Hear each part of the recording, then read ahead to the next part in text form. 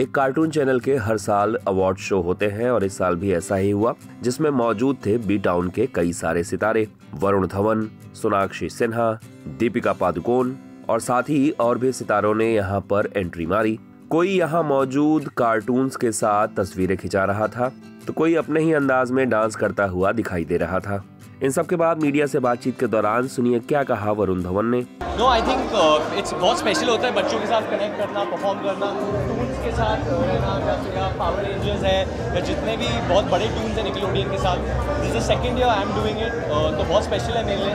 And you have a live crowd बच्चे live होते उधर, वो लोग चिल्लाते रहते चिल्लम चिल्ली होती है बच्चों से तो बहुत मज़ा आता है लाइव बच्चों के लिए परफॉर्म करके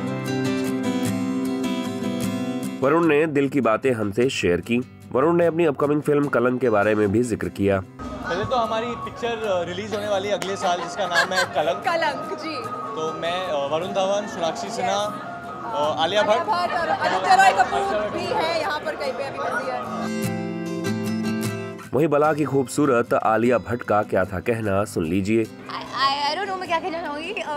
बच्चे को लेकर I think I maybe they feel कि मैं भी बच्ची हूँ और उनसे मिलती जुलती हूँ maybe that's why that I have this really strong connect with kids but मुझे बहुत खुशी होती है जब बच्चे मुझे पसंद करते हैं because kids are your most loyal audience और जब आप उनसे मिलते हो, उनका प्यार इतना मतलब यू नो भरपूर है, they just give you so unconditional love that it it really really really nice. So I'm quite grateful. Alia ने अपने पसंदीदा टीवी शोज़ के बारे में भी हमें बताया साथ ही साथ अपकमिंग फ़िल्म के बारे में भी ज़िक्र किया वहीं दीपिका पादुकोण से जब हमने पूछा कि सिम्बा का ट्रेलर उन्हें कैसा लगा तो सुनिए क्या जवाब दिया उन्होंने I did. When I saw the trailer, I mean, of course, I loved the trailer and it, it's signature uh, Rohit Shetty, and I've had the pleasure of working with Rohit Shetty and you know creating one of my most memorable characters with him. But uh, having said that, I think it's on its way to becoming a blockbuster. I think it has uh, you know success written all over it.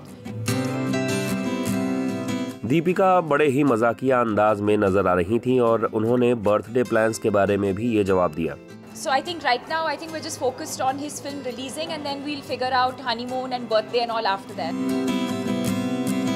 वैसे B town के सितारे दिसंबर के महीने में कहीं shoot करते हुए नज़र आते हैं तो कहीं back to back award ceremonies में और वहाँ की अपडेट हम आप तक पहुँचाते रहेंगे।